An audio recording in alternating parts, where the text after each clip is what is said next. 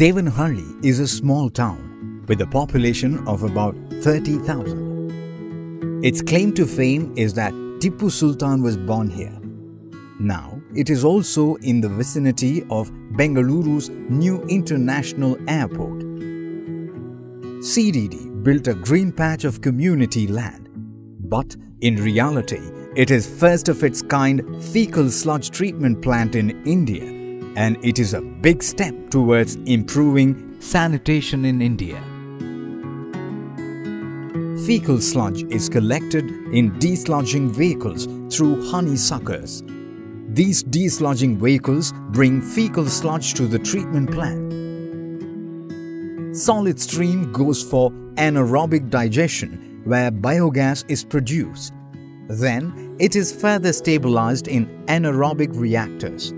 Finally, it is dried in a drying bed and is now ready for co-composting.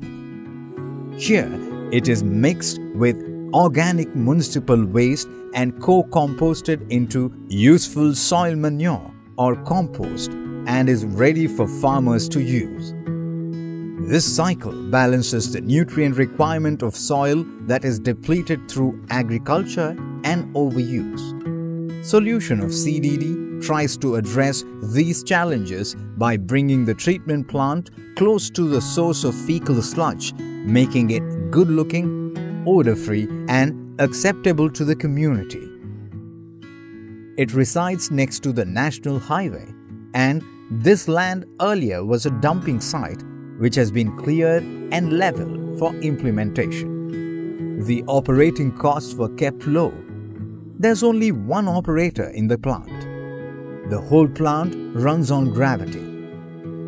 It requires no electricity for operations, no chemicals, no odor, and hence is effective, cheap, and arrests pollution quickly.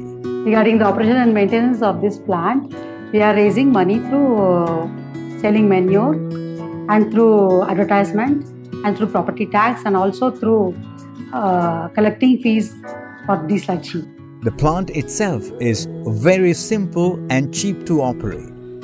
It can be built in less than a year and it is a fast and effective mechanism to arrest immediate visible pollution which is dumping of fecal sludge into the open environment.